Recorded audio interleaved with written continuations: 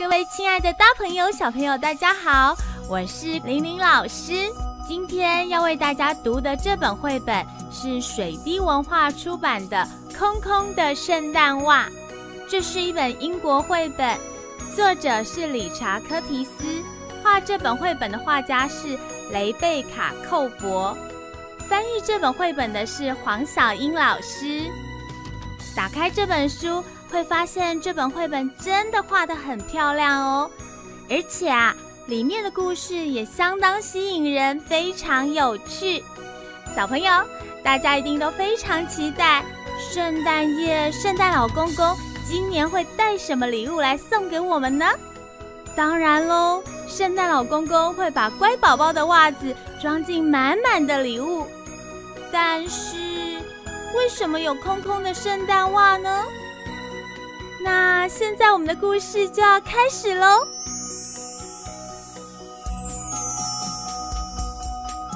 圣诞夜来临了，威士顿先生和威士顿太太很兴奋，他们的双胞胎小山和夏夏也很兴奋。他们两个都是女生哦，虽然名字听起来不太像，小山就是山曼莎，夏夏就是夏洛特。不过呢，大家很少这么称呼他们，大家总是叫他们小山和夏夏。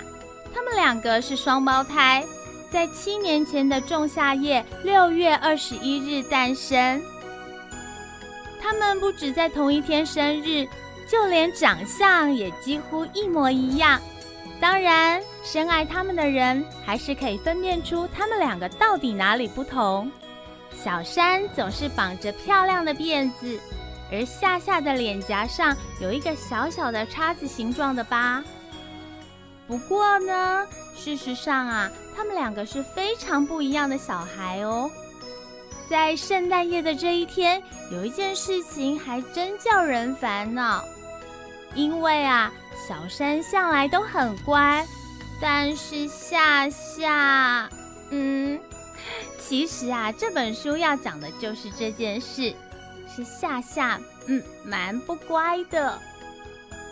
嗯，不能说夏夏是个坏孩子啦，不过他是很顽皮，他不是那种听话的小孩，脾气呀还有点坏，有时候他也不是很愿意说出全部的实话，而且啊，他还很爱吃糖。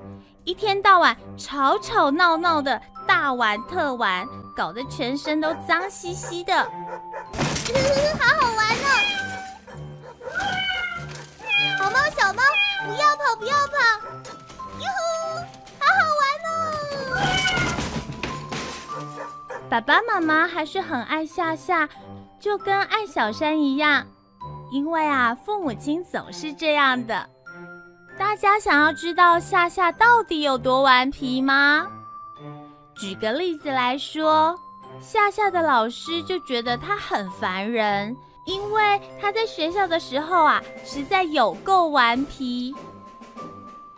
咦丢你，丢你，哈哈，丢到了！老师，夏夏又拿东西丢我了！天哪，夏夏，你不要再捉弄同学了，上课的时候赶快坐好。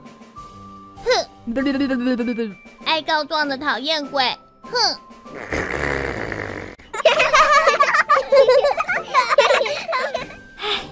这孩子真是伤脑筋。还有，隔壁的邻居也很讨厌夏夏，因为他常常恶作剧。阿姨，我来帮你浇水。喷你，喷你！天哪，夏夏，你不要再喷了，弄得我一身都是水。好玩哦！走开，走开！好好玩哦，哟吼！商店的老板更是一点也不喜欢夏夏，因为啊，他吃了很多糖，可是几乎都没有付钱。哎呀，调皮的夏夏又来了！你不要再吃太多糖果啦！糖果伯伯，谢谢你，我最喜欢吃糖果了。谢谢糖果伯伯。无论如何，今天就是圣诞夜了。小朋友想知道谁得到那一只没有礼物、空空的圣诞袜吗？玲玲老师将会在下一集节目当中告诉大家哦。我们下次见，拜拜。